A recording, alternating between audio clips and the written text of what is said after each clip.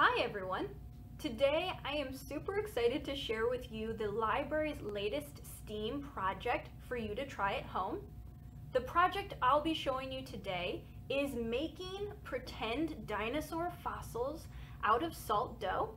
So this is an example of what the project may look like when we're finished. The supplies that you will need for this project are very simple and you most likely already have them at home. The things you will need are flour, salt, warm water, a mixing bowl, and some dinosaur toys, like these little guys, that you can use to make the impression of your fossil. So go ahead and grab those supplies at home or swing by the library in January of 2021 and pick up our STEAM kit.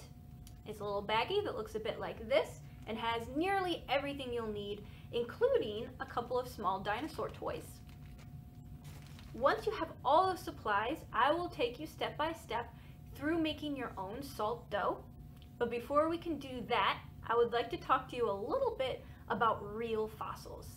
If you enjoy dinosaurs and you want to learn even more, the library has lots and lots and lots of great dinosaur books that you can check out and read at home. You could learn more about fossils or different types of dinosaurs. There's lots of options.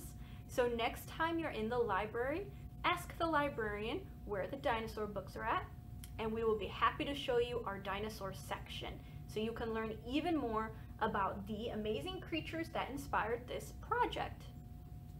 Now, before we talk about how fossils are made, I think it's important to remember that fossils are not just of dinosaurs. There's lots of different types of fossils. In fact, most fossils are fossilized sea creatures like fish or coral. There's also lots of plants that are made into fossils. So it's not always dinosaurs. In fact, it's very rare, very special that scientists are able to find a fossil of a big, exciting dinosaur like the T-Rex or the Brontosaurus. Those are all very rare, which is one of the reasons they're really exciting to read about. Most fossils, or many fossils, are made in this way. An animal, like maybe a dinosaur, dies, and its body falls into a muddy area like a riverbed and its body is covered by mud or sand. After many, many, many, many years, that mud and sand actually turns into rock. It is pressed and hardens into solid rock. But the bones, the body that was covered by the sand, is actually gone. It's been worn away by groundwater. It's not there anymore, but it's left behind a space in the middle of the rock where the bones used to be and in the same shape as the bones. So we can still see the shape of the dinosaur even though the actual dinosaur is gone. So this is an example of the type of fossil that paleontologists scientists who study fossils may find in the ground and dig up to learn more about dinosaurs. That is how certain fossils are made on Earth, on our planet. Now let's talk about the pretend fossils that we are going to make in our project today. Remember you should grab flour, salt, warm water, a mixing bowl, and your dinosaur toys. If you have used one of our STEAM kits, you'll have these teeny tiny little dinosaur toys to use for your fossils. It might be a good idea to grab another toy from home if you have any larger dinosaur toys. A bigger toy will have more detail on it, which will make for a more interesting fossil. Either way, grab your dinosaurs and let's get started making our salt dough. Before we make the dough, I just want to give you a quick heads up that salt dough is not for eating or putting in your mouth. Uh, just like Play-Doh or modeling clay, this dough is used for building, it's used for creating, it's used for crafts and art. It is not used for eating. That means that you cannot eat it and your pets cannot eat it. So do not leave salt dough creations out where your dog can grab them or another pet. But let's go ahead and get started. I have already put our salt in the mixing bowl. This is half a cup of salt. If you are using the steam kit, it's already proportioned out for you and there's a small baggie that has an S for salt and a little bit of a bigger baggie that has an F for flour because the next thing we're going to add is one cup of flour. We're going to mix the salt and the flour together in the bowl. All right, you see it? We're just gonna mix it all around so that the salt and the flour all mixed together. This is gonna make a, a decent amount of dough. So you could probably use this and split it between two people, depending on how many fossils you want to make. All right, so I've got it all mixed up. The salt, the half a cup of salt, and the one cup of flour all mixed up in my bowl. And now I'm going to add some of the water. I'm not gonna add a full cup of, this is one cup of warm water. And I'm not gonna add all of it yet. I'm gonna do maybe half, maybe about half. And then mix it all together with your hands. So this is gonna get a little messy, but that's part of the fun. This is gonna be a little hard to do for me sitting down.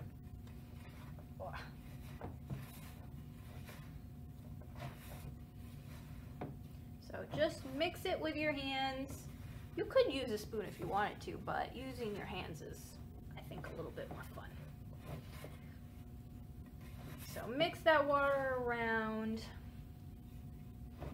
Seems like I've mixed most of that water in, so I'm gonna do a little bit more because it's still mostly kind of clumpy. Let's do a little bit more water, maybe one fourth. And mix, mix, mix. So as you're making your dough, if you find that the dough feels very dry, it looks a little crusty or clumpy, then you probably need more water. If you find that the dough is very sticky, like sticking to your hands and sticking together instead of being smooth, then it probably needs more flour. So I'm going to go ahead and take this out of the bowl now um, because it's starting to form into a dough. So I'm just gonna stick it on the table. Sometimes it's nice to sprinkle a little bit of flour on the table for the dough because this is pretty sticky. I think I might have put too much water. I'm just gonna get all those pieces out. And squish it all together. Yeah, we definitely gonna need I think, a little more flour. So let me grab flour cup, a little bit of flour in there, a little bit of flour in my hands.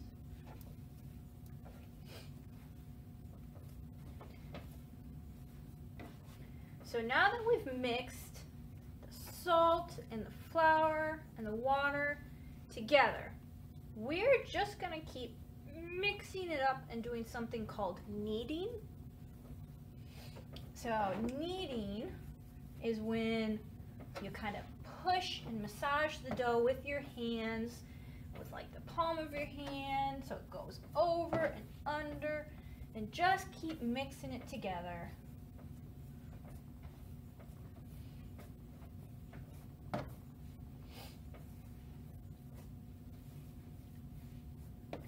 goes.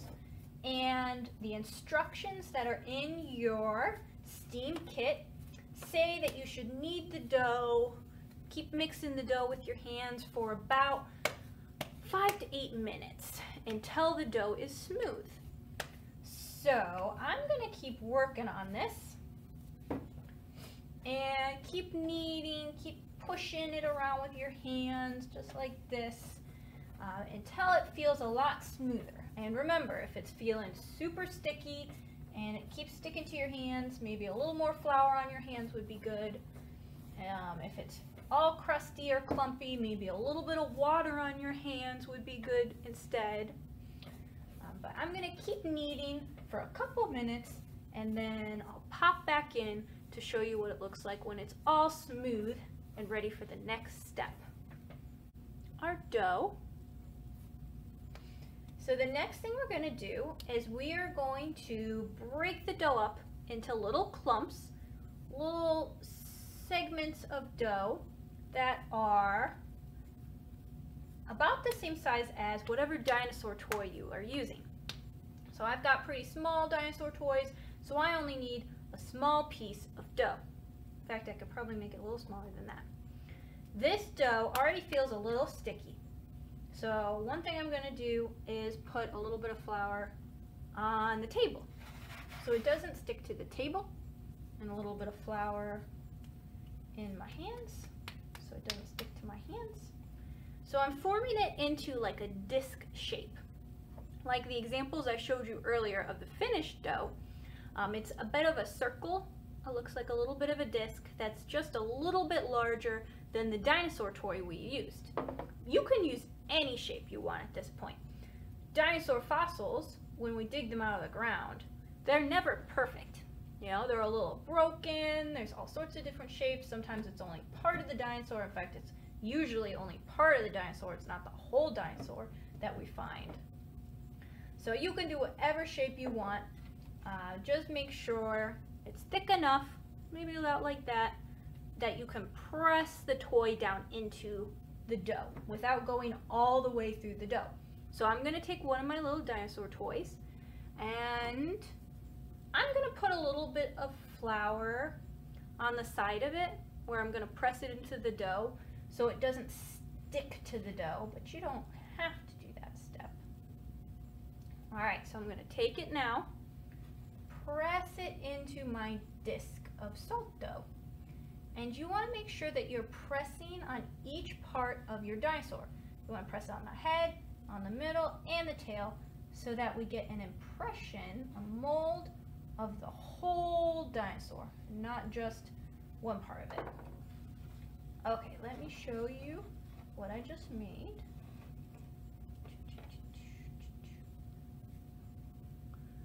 There, that is what I just made in our salt dough. So this is still very soft and it would be easy for me to break it.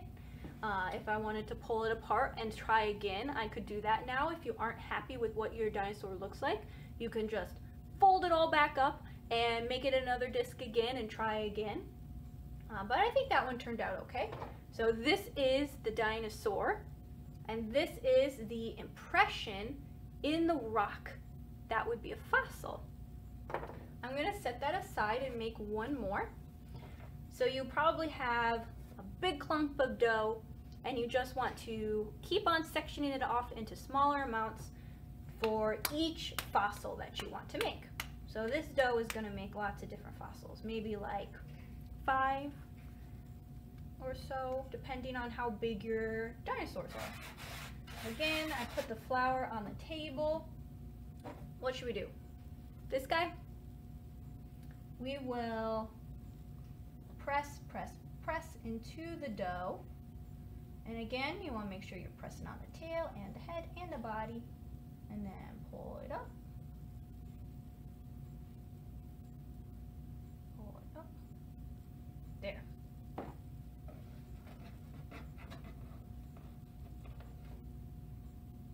And there is our Brontosaurus. So you can keep doing this, making little shapes out of your dough and pressing dinosaurs into them. You can press more than just the dinosaur's body. One other thing you could do is press its feet into the dough, like doo, doo, doo. So it makes tracks that will also be interesting fossils. Uh, so you could do it either way, just press its whole body in there or press parts of its body or just press its feet into the dough and make all of the different fossils that you want, however many you want to do. And then the next step is to let them dry. There's two ways you can do this. One way is to leave it out without touching it leave it out on a tray somewhere in a cabinet maybe or somewhere out of reach from your pets. Uh, leave it out for a couple of days, actually probably like four days it would take to air dry it. If you want to let it dry just by setting it out in the air, it would take about four days. Um, but the other way to let them dry is to put them in the oven at 250 degrees for about two hours, at least two hours. So it takes at least two hours for these to dry in the oven. And once they are dry, they will look a little bit more like the ones I showed you earlier. So here's an example of a dry one that I dried in the oven for a couple hours. Uh, here's another one here. I love the way that these look right now, but you may want to add a little bit of paint to them too. So that is the last step after they've dried. You can either admire and display your fossils as they are, or you can do another step by painting them with some acrylic paint. You could paint them like dark browns so they look more like fossil colored, or you could paint them bright colors um, that just like a fun dinosaur color would be nice. Whatever paint you want to do. I haven't painted mine because I kind of like the way they look just in the dough. And I'm happy with them just like this. So that is the final step for our project today. Mix it all up, knead it for five to eight minutes, break it up into smaller little fossils, press the toy inside, and then put it in the oven for a couple of hours at 250 degrees, and then paint it if you would like. That is all I have for you today. I hope you enjoyed your dinosaur fossils and the whole process of making these at home. I will see you next time. Bye!